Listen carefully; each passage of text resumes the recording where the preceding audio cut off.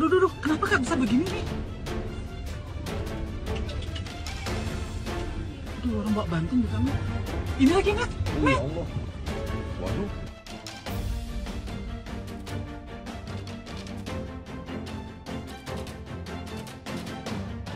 Terjadi kecelakaan beruntun melibatkan tujuh mobil dan dua sepeda motor terjadi di Jalan Raya Singaraja Denpasar, kilometer 48,9, Desa Baturiti, Kecamatan Baturiti, Kabupaten Tabanan, Bali, pada Sabtu 18 Juni 2022, sekitar pukul 12.30 waktu Indonesia Tengah.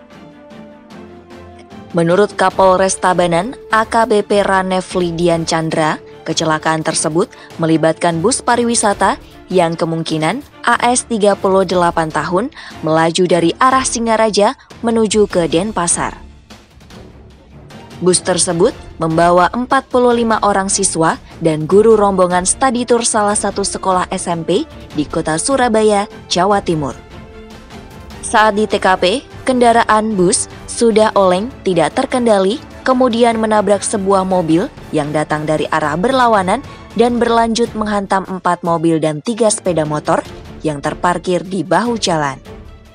Bus tersebut kemudian terperosok ke perkebunan warga sedalam 5 meter dari jalan umum. Akibat kecelakaan ini, seorang warga bernama Niwayan Wardani tewas. Ia meninggal dunia ditabrak saat berjalan usai sembahyang. Saat ini, kecelakaan beruntun ini masih dalam proses penyelidikan.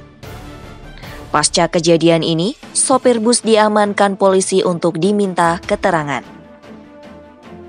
Sementara itu, puluhan siswa dan guru yang menjadi penumpang bus tersebut segera dipulangkan ke penginapannya di Denpasar.